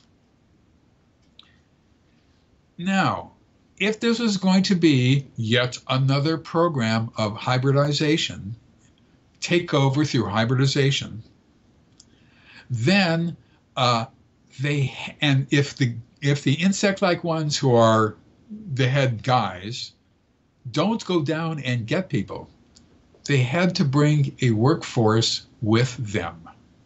Those were the reptilians. They were the first ones to go down and start getting people, I think, because the insect like ones don't do that. And uh, when people see them now, once they got enough people, they began to take eggs and, and this and that, and they got the gray aliens. That's my guess. And they're still getting them. They have to have more and more and more and more and more and more gray aliens because of the population explosion uh, uh, in, in the Earth. So, uh, the reptilians, people hate. They are re- reported every once in a while. Every once in a while, the, the abductees will report them. I'll, I'll do 20 sessions with an abductee, and then on the 21st they'll say, "This guy is really weird looking. Looks like a, you know, oh man, keep him away from me. I don't like him." Oh, uh. and then they say, "I might have seen this guy before too. Oh God, he's horrible. Take him away from me. Then get him away. He's terrible. He's terrible. He's, yeah, I hate him. I hate him. I hate him." And I'll say, my God, what, well, is he hurting you? Is he, is he, is he, you know, is he harming you in some way? No, no, I, I just hate him. Well, is, is, is he threatening you in some way? No, no, I just, just get him away from me. I hate him. I hate him. He gives off the aura of threat. When he begins to deal with the abductee, he does the same procedures as the gray aliens do. So it's, it's, uh, he's just a worker. He's a worker like the rest of them.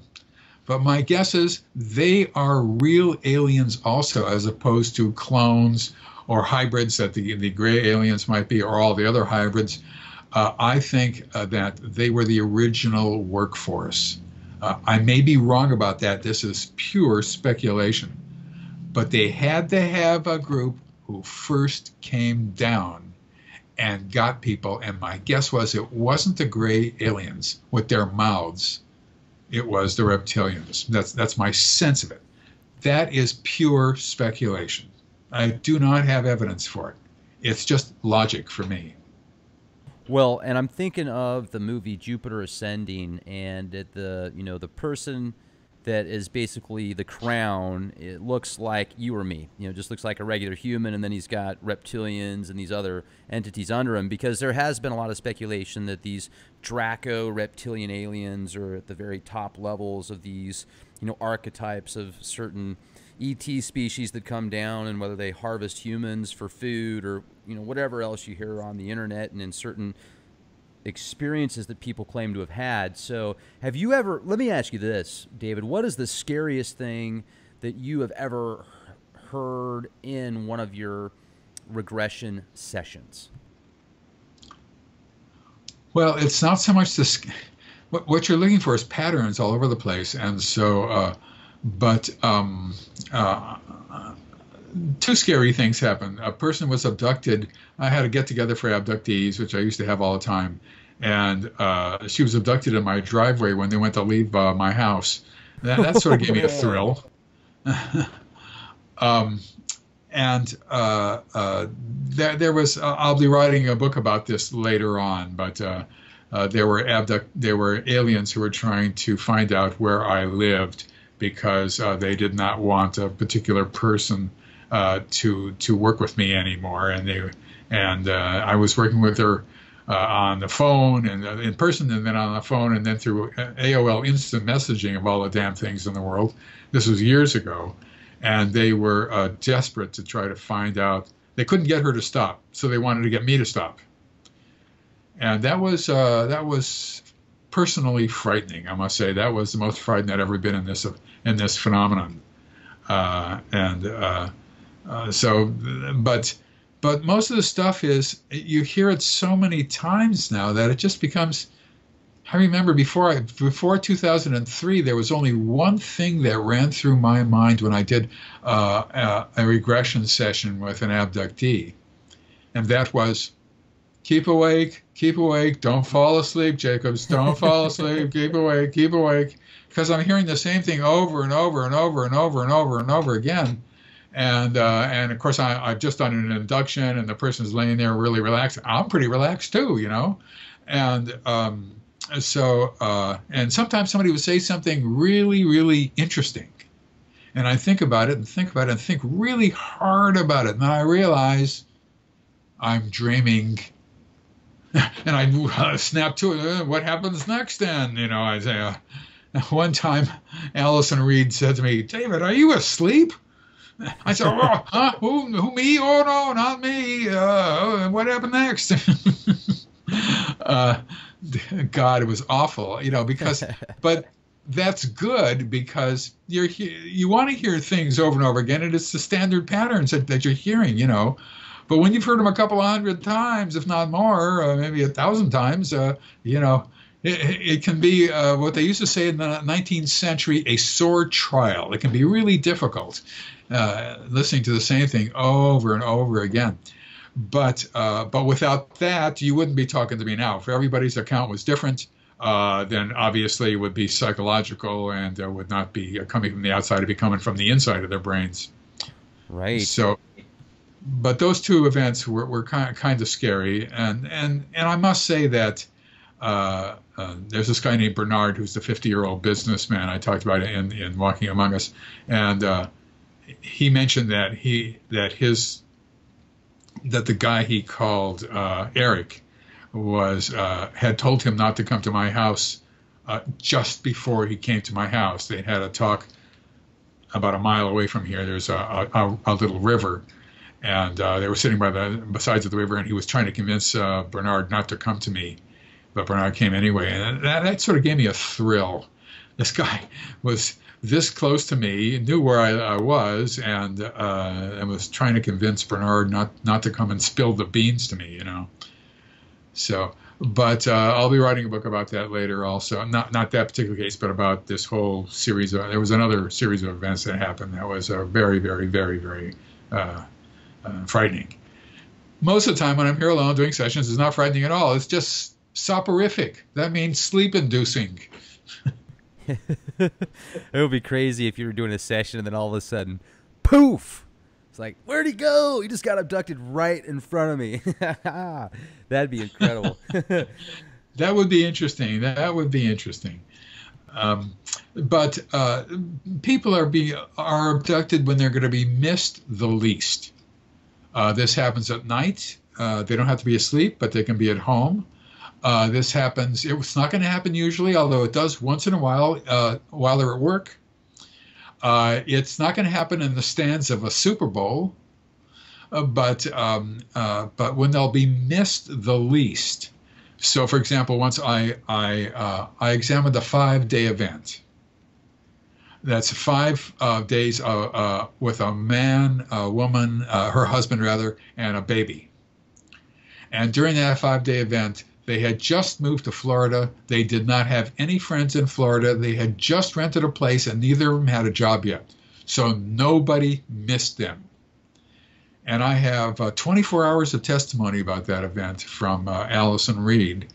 And, uh, uh and I did a, a two or three day event with someone once, and when they're going to be missed the least, you know.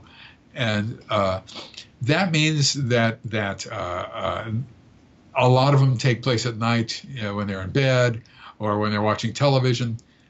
The majority of the people uh, that who I've investigated now, this is not a huge majority, but it is a majority. The majority of those people uh, uh, have um, are uh, uh, awake. Now, the reason I say that is because there are debunkers who say that this is all sleep paralysis. Now, sleep paralysis comes up uh, in the scientific or stupid community, not the scientific community, but the really stupid ones who are debunkers every once in a while. They know nothing about the history of this phenomenon, so they think that they've invented sleep paralysis, not knowing that 15 years ago somebody else brought up sleep paralysis and it was a huge uh, uh, brouhaha over it and whether uh, people were actually having sleep paralysis and this and that, and then it died down. Now it's come back up again. The majority of people I have worked with have had their abductions when they were not asleep. End of story. That's the end of sleep paralysis. I can say that absolutely. That's all I wanted to say.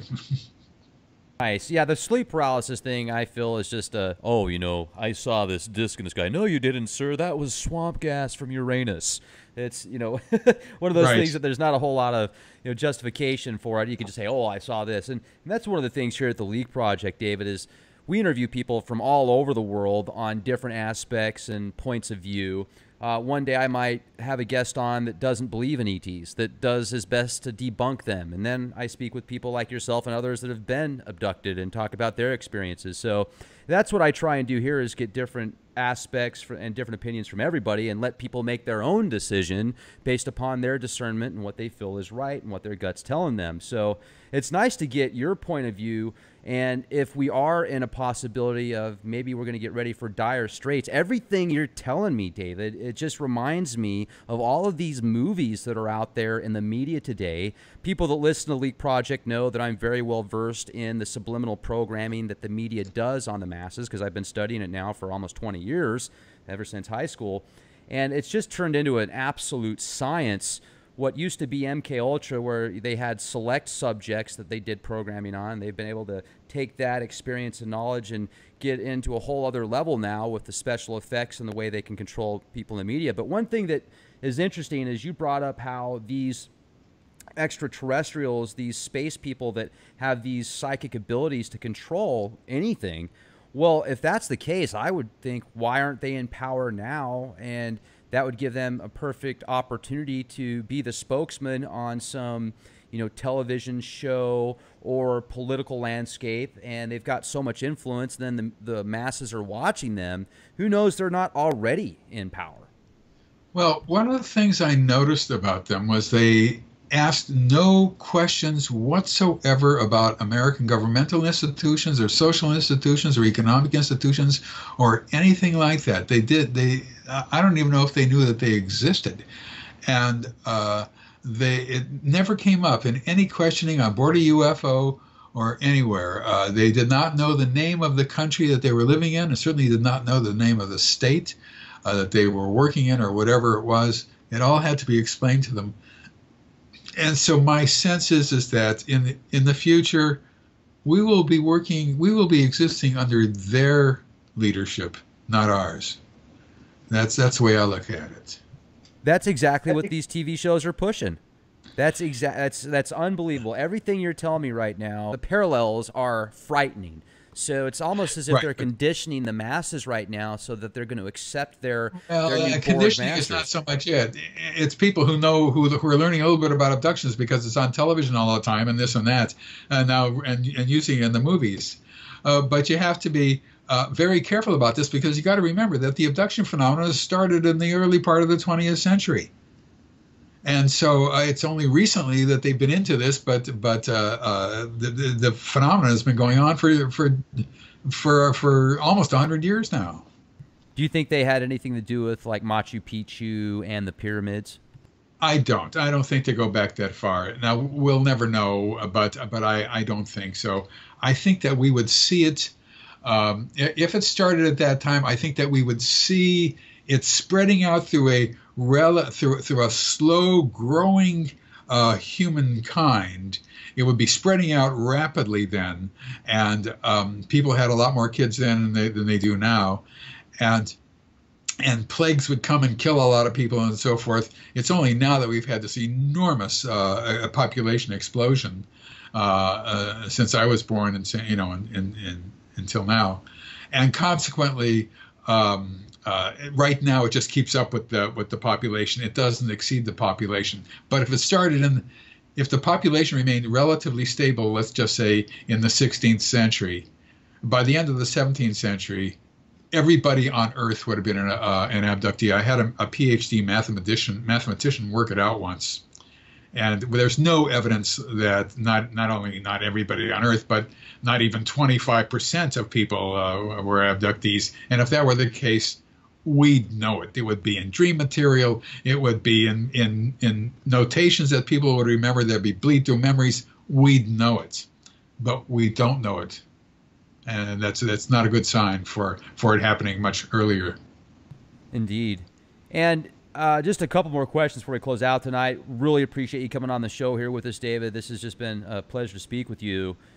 The insectoids that you brought up at the beginning, and also we talked a little bit about this before the show. What can you tell us about them? Well, they will sometimes perform procedures uh, like uh, like gray aliens do. That happens.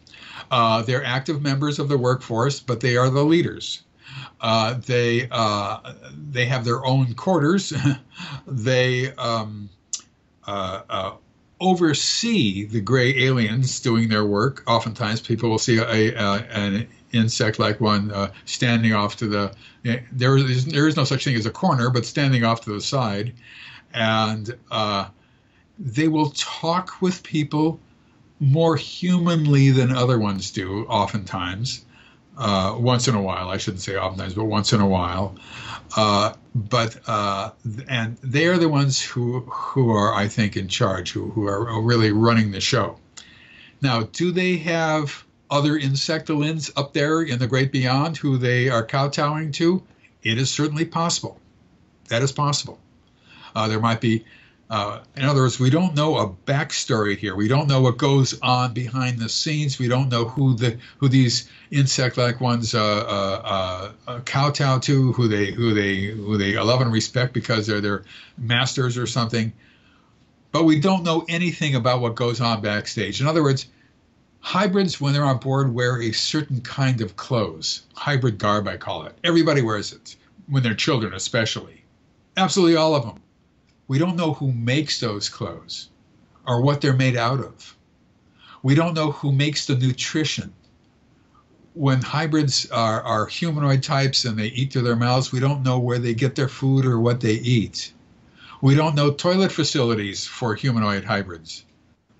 In other words, we don't know anything about the back areas of what happens when when when the places that that were that that are creating all the the work for the workers. You know what I mean? The the material for the workers and and everything else. We don't know anything at all about that, and that's that's unfortunate. I, I wish we did. That's incredible. And didn't Betty Hill describe seeing some type of giant mantis or mantid extraterrestrial in her encounter? I don't remember that. Okay. I don't remember that. Okay. Uh, uh, but uh, Betty Hill is a wonderful person. Uh, she she was obviously abducted with her husband, uh, and um, uh, she she didn't quite know what was going on. Uh, and uh, the person who did hypnosis with her, by definition, did not know what questions to ask and did not know to, how to understand confabulation. So we have to be very careful with certain aspects of Betty's testimony. Uh, just because the mind plays tricks and she's not supposed to remember it all and that sort of stuff. Yeah, indeed. And have you ever noticed anybody that, or have you ever talked to anybody that you've had an opportunity to do these sessions with, with in regards to like microchips or implants? Well, most abductees say that they have implants, but what they are, we have no idea. Now, a friend of mine, Roger Leir, Dr. Roger Leir, uh, specialized in taking implants out of, out of people. And he had a group of surgeons who removed a bunch of implants from people's legs, their arms, their their hands, uh, the, their back, uh, their backs, whatever it was, and a couple of them were really interesting things. Uh, but uh, he died too soon to make more analyses of it. I don't know what's happened to all the other implants, and he was unable to and did not take out uh, implants that are standard procedure implants up through the nose, through the cartilage, uh, through up into near the pituitary gland, or through the ear, in, through the eardrum and near the brain somewhere, or through a teardrop into a sinus cavity. All those would have caused uh, uh, have to deal with head uh, surgery, and they did not do any of those. And those are the three most important places where implants are are, are placed how we would understand what an implant is is beyond me. You're looking at very advanced technology. It's it's like in the 1950s, UFO researchers were uh, heavily focused on propulsion. UFO propulsion. You can't imagine how many books are written about UFO propulsion. And it's like Allen Hynek said uh, uh, in, in thinking about this concept he said, and he used a phrase here that every human being who is my age used a million times, and then suddenly one day stopped using the phrase, never to be used again on earth. Allen, Allen said, Well, you know, trying to figure out propulsion is like showing a color TV to Benjamin Franklin and asking him how it works. There's right. too many levels of knowledge that that you have to go through to get to knowing how a color TV works. Now, when's the last time you used the phrase color TV? uh, it has dropped like out of the eight. language. yeah. Nobody ever used it. It, it. it was uttered by every American, now gone bring up some good points, and I certainly thank you again for coming on the show. And I would like to give some advice to our listeners that are interested in checking out David and his work. Go to UFOabduction.com, UFOabduction.com. David Jacobs, if you want to look him up on YouTube or maybe check out Google. And I just wanted to leave this with closing. When you brought up these UFO craft and the people that are on these ships, whether they're extraterrestrial or you know abductees, they're all doing something. They're all kind of efficient and they've got their own position and place to do something.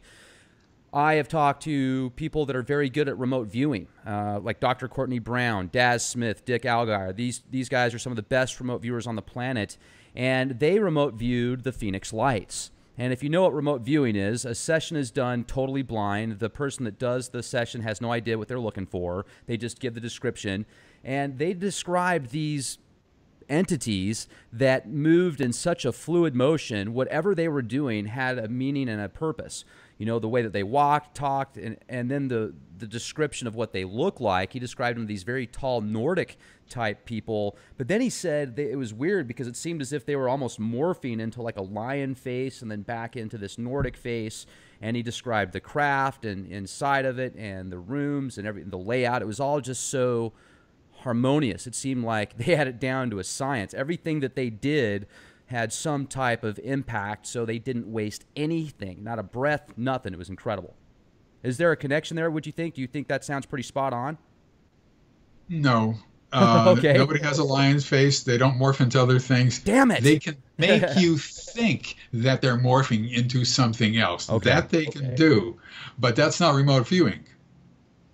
Remote viewing is seeing them, and that w- they wouldn't be seeing them because they're not actually morphing. Uh, so, uh, and uh, I, I, I would be careful with that. I know that people are sincere, and I, I, I am not uh, against uh, remote viewing. Uh, a member of the Society for Scientific Exploration, and Dr. Hal Puthoff put on a, a fantastic um, account of, of, of remote viewers that were really, really striking, really amazing. Uh, so there may, might be something to that. Uh, but when it comes to abductions, uh, you got to be real careful, real, real careful. It's it's. Uh, there was a woman named oh I can't remember her name. She was one of Budd's people many many even before I started doing uh, abduction research, or a group of channelers or maybe even remote viewers I can't remember uh, got together in a room and they all channeled or remote viewed a an abduction all of the accounts were different, and none of the accounts were correct because this woman was an abductee and knew what was going on, and she said nothing, nothing approached it uh, in terms of what was actually happening. But you also have to understand that this has been in the media for a long time now. It's seeped into popular culture. Everybody and his dog knows gray aliens. Right. And uh, and you know it's just all over the place, and it has been for decades. Uh, and, obviously, the books that both Budd and I wrote didn't help matters by keeping it secret so that we could study it more. But scientists don't study it anymore. There's less scientific information. Uh, uh, concern for it now than there ever has been. So I might as well just write my books and show the the public what I've learned. And if they don't think it's uh, correct, they can learn how to do hypnosis and do it themselves. You know, that would be great. Yeah, and hypnosis is pretty cool. Some that don't know what it is might get nervous and be like, "Oh, I don't want to be put under somebody's spell and go barking at cars thinking I'm a dog or whatever. That's stage hypnosis and it's completely different. If you've ever missed your exit driving in a car because you were listening to music and you lost track of time there for a second, that is a form of hypnosis right there. It's just a different That's called of, welcome to the right, welcome to the human race. That's what that's called. yeah, hello. Welcome to the human race. So, hey, this has been great. And also, I want to let our listeners know if you would like to hear more about some of these cases, check out Walking Among Us. That came out just several months ago. It's got excellent reviews on Amazon. Also, you've put together a few other books. Would you just let our listeners know the name of those titles before we close out tonight, David? Well, there's th- still three other ones that are in uh, in print. Uh, the Search, I'm sorry, God Almighty, my brain. Secret Life, The Threat, and the edited book. This is edited by me, with I, although I have a couple of chapters in it. Uh, UFOs and abductions challenging the borders of knowledge. That's that. We, we wanted that for the therapeutic and uh, uh, community and academic community. Uh, the response from the academic community was zero. That doesn't surprise me. those guys are like, you know, talk about being assimilated by the Borg. They've got firewalls all over themselves. They can't accept anything that's not, you know, written down on paper and given to them by somebody in the administration. Uh, it's it's been great to have you on the show, David. It was a real pleasure. And uh, man, were you? Your voice sounds so familiar. Are did you ever do any like commercials, or were you the Cadbury guy that did that? Uh, from your lips to God's ears. No, I never did anything like that. Man, you've got you've definitely got a voice of the person that does some really cool commercials and stuff. So yeah, great voice, man. I appreciate you coming on, David. Thank you so much. Okay, my pleasure. Thanks. Thank you so Bye-bye. much. Bye bye.